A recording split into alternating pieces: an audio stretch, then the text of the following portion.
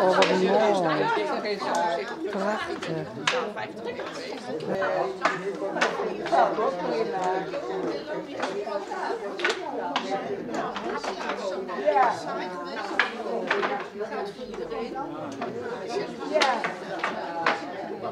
Kobi, dit is weer de eerste inloopochtend van de OVA. Ja, dat klopt. Eh, gelukkig mag het weer, hè. Onder strikte voorwaarden, hè. Een mondkapje, handen desinfecteren, QR-code, afstand houden. Maar desondanks eh, hebben een aantal ouderen toch heel veel behoefte aan om elkaar weer te ontmoeten. En uiteindelijk gaat het om de ontmoeting. We hebben wel een schoolwedstrijd en we hebben spelletjes en er is koffie met wat erbij.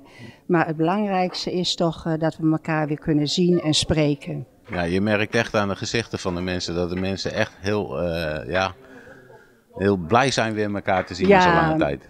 Weet je, eh, wij zijn een vereniging van ouderen. En je merkt gewoon dat er uh, ook vriendschapsrelaties ontstaan. soms kennen mensen elkaar in het begin helemaal niet.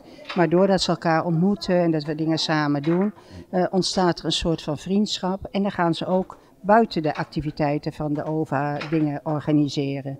Dus we zijn heel blij dat we nu in het Huis van Katoen en Nu weer rustig aan mogen beginnen. En uh, dat er iedere laatste vrijdagmorgen van de maand weer een leuke activiteit is. Ja, nu is het Zule. Wat is de eerste volgende activiteit die jullie kunnen gaan plannen? Want nu zijn de dingen vrijgegeven. Ja, we zijn weer uh, aan het plannen. In december hebben we natuurlijk heel veel activiteiten af moeten zeggen. Onder andere het kerstdiner voor uh, eenzame ouderen. Maar verder ook de eindejaarsbijeenkomst. Op het laatste moment hebben we alles uh, af moeten zeggen. Dus sommige dingen schuiven we nu door, hè, zoals deze inloop. Maar eind december, eind uh, februari, dan hebben we een lezing en dat gaat over bewegen, dat dat goed is voor je brein. De eerste lezing, uh, zijn er al inschrijvingen voor? Is ja, dat er al zijn bekend? al wat uh, inschrijvingen. Het komend weekend komt Seniorenjournaal uit en daar komen dan alle activiteiten in te staan.